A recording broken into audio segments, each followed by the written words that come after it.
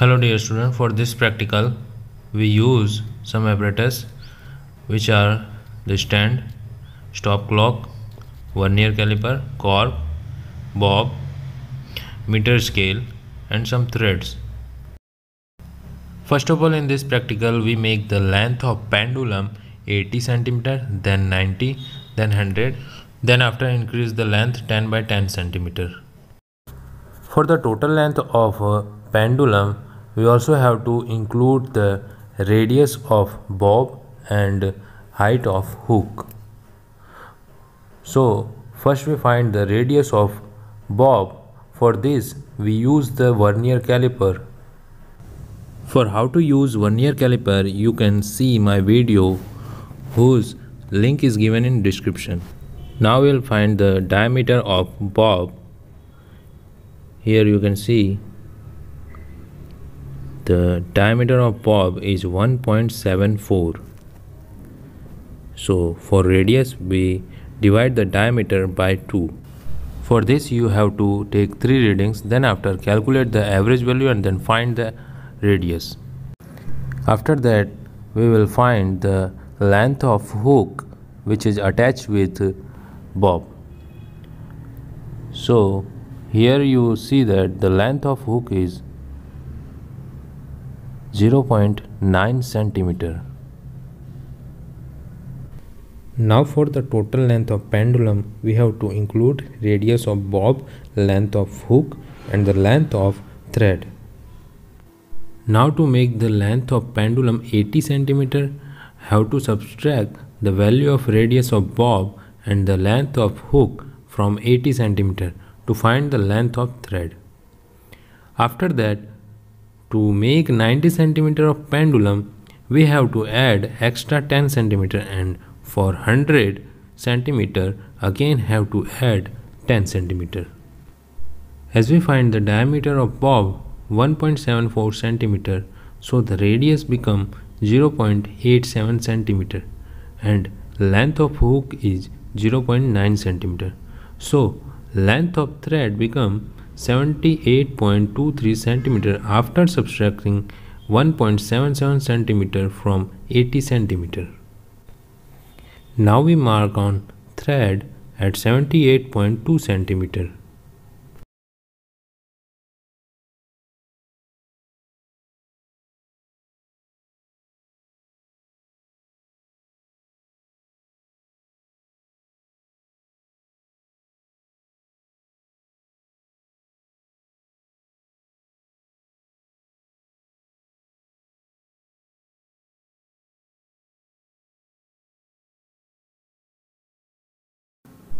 mark it properly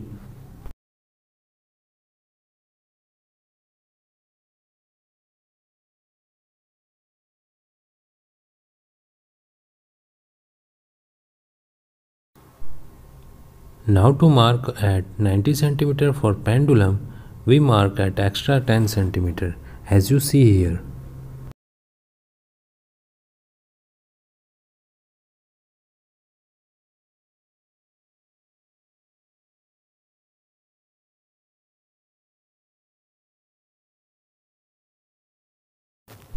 For 100 cm, we add extra 10 cm. Similarly, for more length, we add extra 10 cm.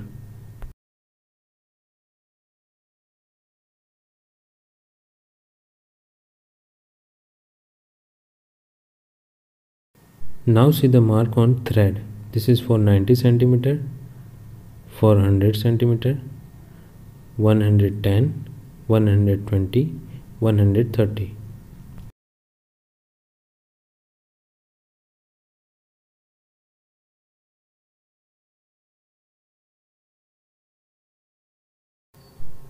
Pass the thread through the two split part of a cork with the thread coming out just from 80 cm mark.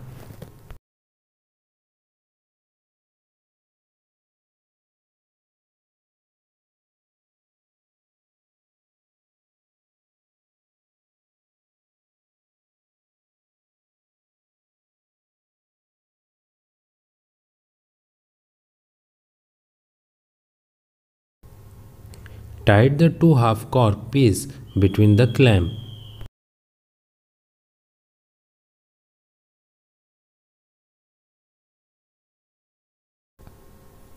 Fix the clamp in a stand kept on a table. Move the bob by hand to over position on the right and leave. At that time, start the stop clock and start counting up to 20. 1, 2, 3, 4, 5, 6, 7, 8, 9, 10, 11, 12, 13, 14, 15, 16, 17, 18, 19 and 20. Find the total time noting position of both the hand of clock watch. This time is time for 20 vibration. Take two observation each for length 90 cm, 100 cm, 110 cm, 120 cm and 130 cm. Here you see the time for 20 vibration of length of 80 cm of pendulum is 27 second.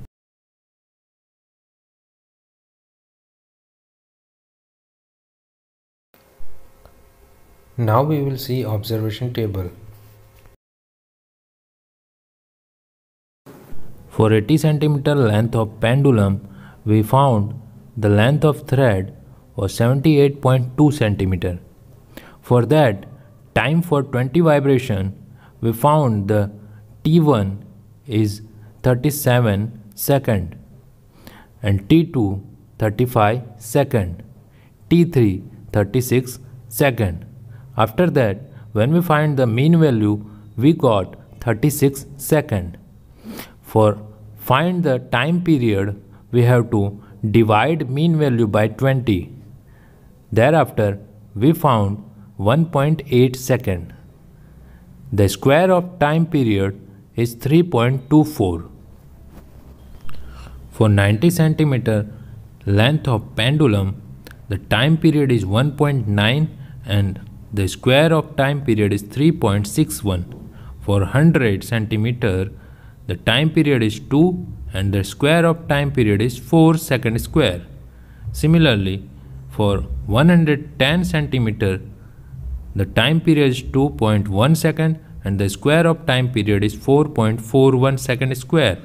For 120 centimeter, the time period is 2.2 and the square of time period is 4.84 second square. And at 130 centimeter, the time period is 2.28 second and the square of time period is 5.20 second square.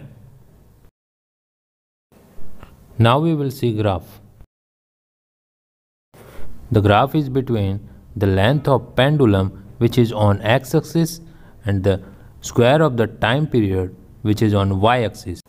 On x-axis, we take 1 cm equal to 10 cm of length of pendulum and on y-axis, we take 1 cm equal to 0.4 second square of square of time period. After plotting the value from observation table, we get straight line. From that, we can say that square of time period is directly proportional to the length of pendulum. If you like this video, Please subscribe and share with your friend.